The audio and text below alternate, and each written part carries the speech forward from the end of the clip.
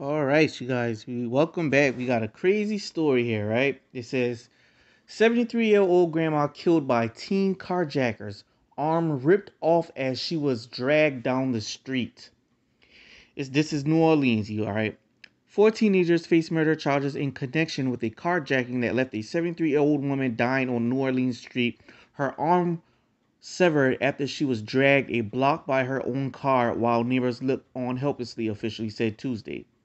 A law enforcement source identified the accused killers as 17 year old John Honoro and three 15 year old girls, uh, Brinya, Brinya, whatever her name is, Baker, Marquel Curtis, and Lynra. Boy, these people got some fool up name here.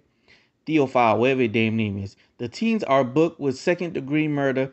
NOPD uh, Superintendent Shaun Ferguson said at a news conference at police headquarters two were turned in by their parents. All face second degree murder charges, and Ferguson said he will recommend that they be charged as adults.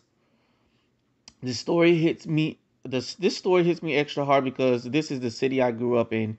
Uh, it's very sad to see it turning into a such horrible place. This woman could have been my grandmother. She lost her life in the most horrifying way. These kids would wouldn't even open the door to let the woman out when her arm was stuck oh, as they drove off. Ooh, this is what one person uh, said uh, that felt some kind of way. Okay, so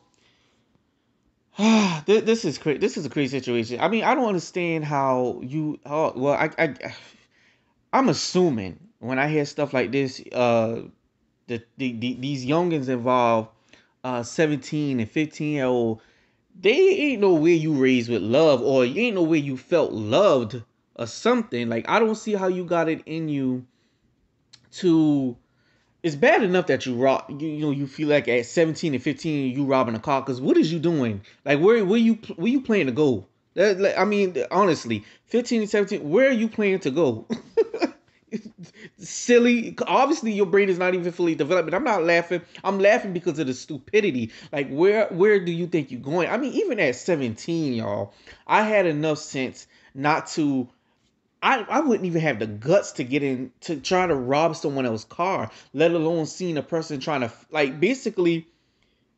I guess trying to stop them eh, eh, and, and say, "Hey, no, don't get in my car" or whatever. But they just, I don't get, I don't get it and you see her arm is stuck and yet y'all still got like this is crazy y'all. This this these are some wild young teens with some with a with a crazy mindset. But i'm sorry. I i, I don't feel bad at all that they're being ch- charged as adults. I get that your brain is not fully developed but hey at 17 you know better.